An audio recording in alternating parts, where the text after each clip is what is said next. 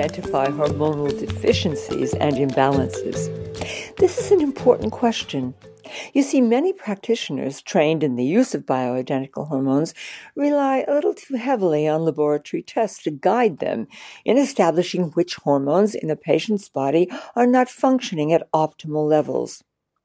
Now, these lab tests are most commonly carried out by an analysis of the blood, saliva, or a 24 hour urine test. The problem is that lab reports can be confusing. You see, hormones are by far and away the most powerful molecules in the human body. They affect every tissue and every system. In fact, every aspect of health and well being and it's impossible to test the action of any one specific hormone in the body directly. As a result, too many practitioners rely on these lab reports, which can often be confusing. The hormone reference ranges that they give are little more than population statistics, including two standard deviations from the mean, which is 95% of a group of quote, apparently healthy, unquote, adults. But, as endocrinologist Henry Lindner, MD, points out, the subjects are frequently little more than employees and friends and relatives who themselves have been screened for symptoms of deficiency.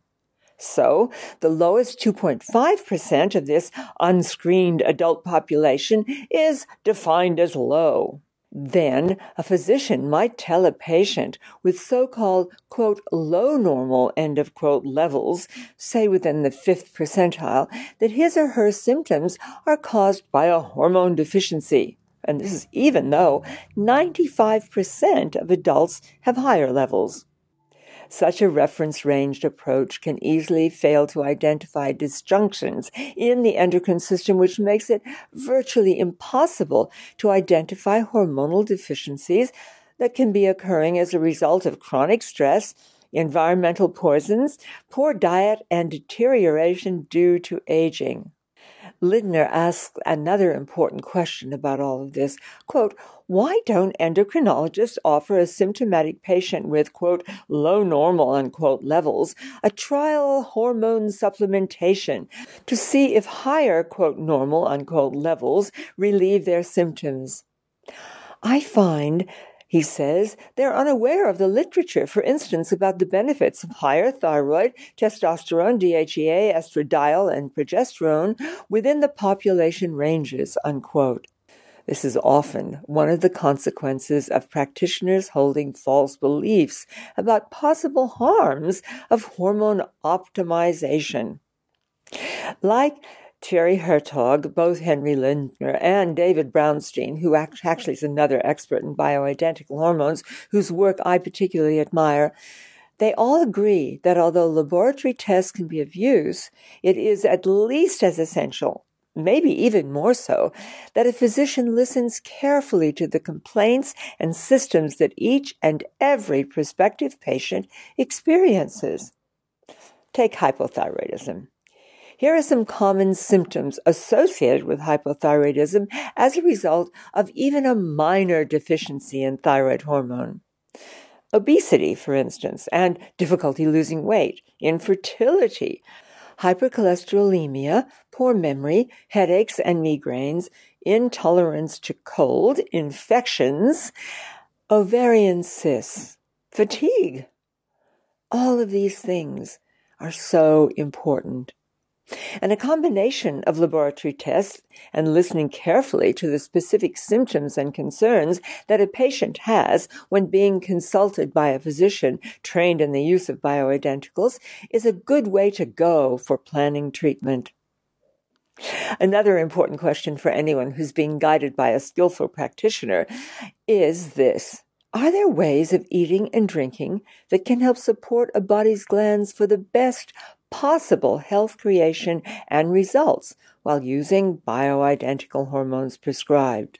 The answer is there are indeed. Your body's hormonal system does not work alone. Using top quality minerals, vitamins, trace elements, and amino acids will exert a positive influence on both hormone utilization and hormone production.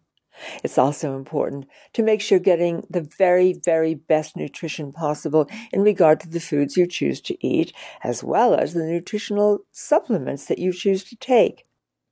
I think that this has never been more important given the widespread pollution in our environment now and all of the dreadful convenience foods that ill informed people continue to buy from supermarket shelves and feed on with no idea how destructive these foods can be for their own health and the health of their families.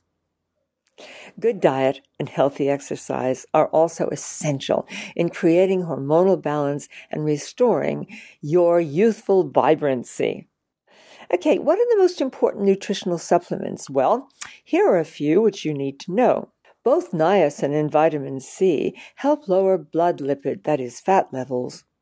L-glutamine can decrease carbohydrate cravings, while the trace element chromium can help to both lower insulin levels in the blood and to reduce sugar cravings equally essential are vitamins D3 plus K2 and magnesium. I personally find the best way when choosing nutritional supplements is to go for top quality food based multiple vitamins.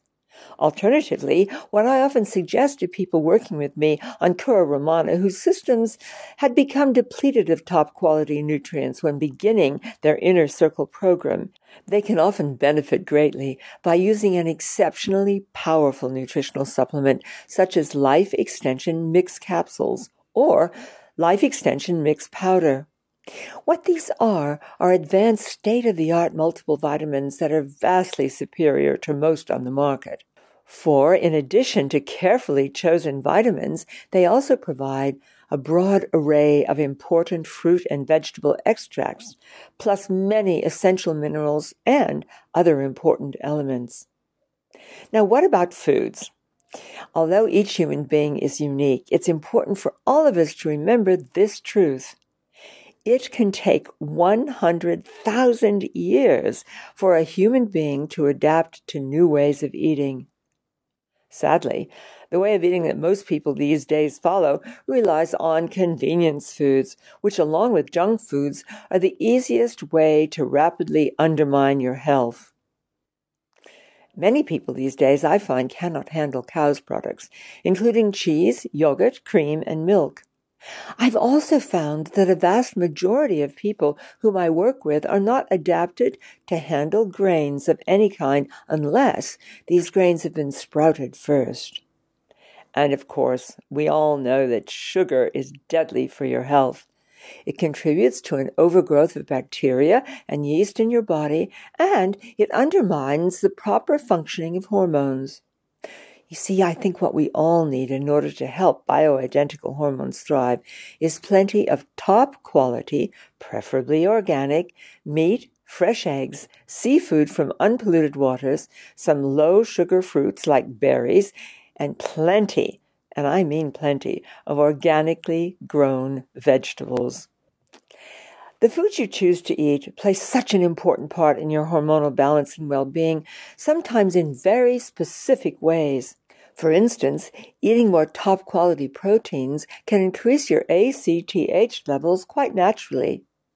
Finally, here are a few wonderful foods for high level well being and optimal hormonal balance kale, wild salmon, spinach, broccoli, asparagus, extra virgin olive oil, organic coconut oil, butter that comes from cows that have at least for part of their lives grazed on green grass. I hope in this Sacred Truth video that I've been able to cover a few of the important aspects of bioidentical hormones and how best to support them. And by doing so, how best to enhance your well-being now and for years to come. Next week, we'll look specifically at one of the most important and least understood conditions and find out how bioidentical hormones that are well chosen can transform thyroid issues. Do join us then.